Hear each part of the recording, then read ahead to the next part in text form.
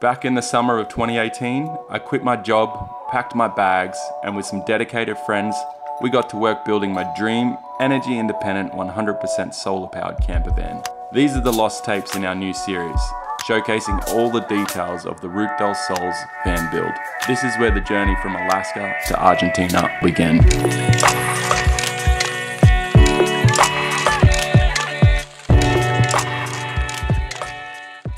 All right, Brett, what's happening here, mate? All right, so we are going to be uh, assembling just under 50 kilowatt hours of lithium cobalt Coslite batteries to add another well over half of Joel's battery pack. So he'll have about 130 kilowatt hours, which should take him in the vicinity of 175 to 200 miles depending on how he drives.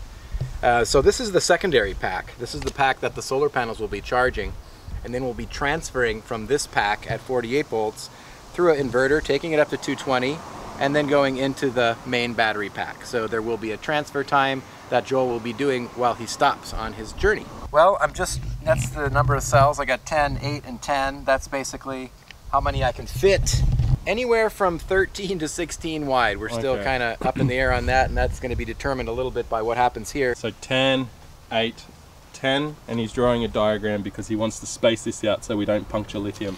How, how big's the voltage of the battery in general? Um, so these batteries are going to be configured in right around a 48 volt nominal system. Their lowest voltage is going to go down to about 40 volts, and their highest right around 64. What about uh, amperage? Maximum when we're charging about 132.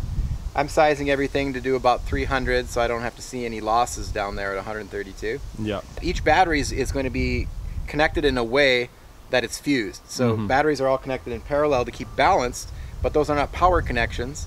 They're simply balancing connections that will, if there is any problem, just burn. So the big problem with is is you know I have 100% confidence in that they will not see overcharge. They'll never see undercharge. They'll be perfectly balanced. So we just we're obviously building a pretty stout box of uh, 0.188 aluminum, and uh, It's pretty thick. It's thick enough anyway, and probably Yeah. more thick than what we what's necessary, right? And these batteries, they do need to be under a certain amount of pressure. So there's these threaded rods that'll travel through the pack in uh, one, two, three, four places, Pulling it tight. pulling it tight. And also there's some angle iron that'll go, or angle aluminum that goes on the outside to further create a nice snug fit for them. It feels good to be out here and actually starting to put uh, put batteries together. And uh, I mean, we've been Brett, poor Brett. He's had so much on his brain lately, and I can see it. He's sort of retracting a little bit in, but um, this is what he loves doing. I mean, this is his this is his passion and and and dream in life, and we're uh, we're working through it, and we're getting some stuff done. And I think at the end of this project, we're all going to be very proud of ourselves and our input and all of it. And um, it's only still the beginning. If building a battery for an off grid project seemed like a somewhat easy task, after going through this process for the first time, that could not have been further from the truth. First, we started by testing every voltage of every cell. In the battery, there were 1,092 of these. To balance the pack out, cells had to fall within one tenth of 3.70 volts to make sure we weren't using any bad cells. Then each cell's positive and negative tabs had to be bent to a 90 degree angle so that the cells could be soldered in series to make the final pack voltage 48 volts. Finally, a bus wire was soldered to each of the 84 individual packs' positive and negative terminals, which we would use to connect the packs in parallel later. This is my last battery pack to put together. That makes 84 packs and 2,000 tabs that I've turned. I'm so ready to be done. The last battery pack is done. I'm done. I'm done. I'm done. I'm done. I'm done. I'm done. I'm done. I'm done. I'm done. I'm done. All right, quick update. We are running around town. We got a bag of popcorn each, which is good, but uh, we're trying to find the right the right thing for the job here and considering that we're making a box from pretty much scratch there's bound to be situations like this but anyway the guy at the hardware store is adamant he's adamant that you can't cut plexiglass with a skill saw circular saw Um, Brett is adamant you can. We've come to a happy medium. We're going to use a jigsaw and cut the glass. Every single part of the battery box had to be isolated. So Gabrielle and I were working on the Perspex cover and the nylon tabs we were using to secure the threaded rods and the copper bus bars, which you will see in the next video.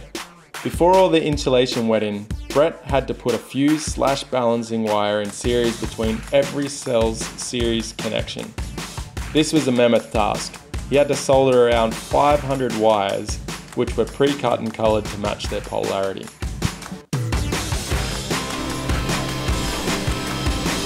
Still soldering wires. Oh, we're putting our second row of uh, of packs in, and then I'll have to solder a thousand, well, three hundred and some wire. He's a soldering trooper. I'm Sergeant Solder. Sergeant Solder. And the funniest thing is when Joel tries to Joel tries to get solder from the hardware store. They, try to give me soda. they sent me to the soda the soda fridge. Oh, it's funny. it was uh, twice. it wasn't even once. We then finished loading all 84 48 volt packs into the battery's insulated aluminum box. All that was left to do was to connect the battery to an off-grid system and see how it works, which we'll show you in the next episode of the Lost Tapes build series. Last cell The dropped on the last box. cell This last one. start this, from the same position. Maybe? And then, oh dearie me. Oh, the...